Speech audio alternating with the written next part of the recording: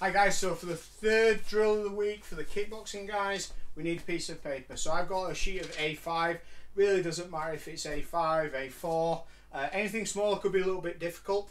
If you've got someone helping you with this, uh, just make sure that they're not holding the paper near or in front of any body parts because we're going to be throwing uh, jabs, especially at this. Uh, if you've got a, a washing line, what we can do, put a piece of string through the paper and then hang that over the washing line. You want it to be around about your kind of punching range, so about there. Um, if you're wanting to um, fight someone who's specifically shorter or tall, you could obviously amend it there. So I'm going to use Marie for this.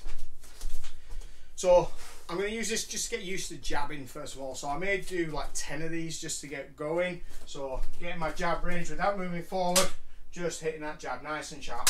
Turn that fist over a little bit, keep a slight bend on the elbow.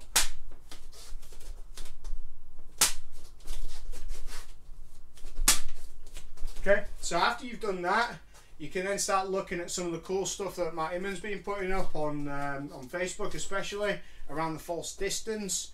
This is where you're throwing a punch purposely shorter than what is your normal range to get someone into a pattern and get them used to thinking that your your put your punch or range isn't as long as it actually is. So we can do this, and it's really important we don't step in on that last shot when we throw a proper jab. Yep, by throwing a punch at false range, so short. Yep. So it's not a it's not a feint. So a feint's kind of here. False range is kind of there. Full jabs there. Okay. So make sure you're just not throwing a feint because that's not quite what we're after. We're looking at just a little bit longer, like we're trying to trick them to come in a bit closer so when that jab does snap in, it's really powerful. So don't step in on it like so, throwing that false, false, jab range. False, false, jab range. And then if Marie moves around a little bit, this is where then I have to kind of work out where my jab range is. So there, yeah. See, I'm not moving forward. That's really important. It's not a stepping jab, it's not a push jab, it's not any of those.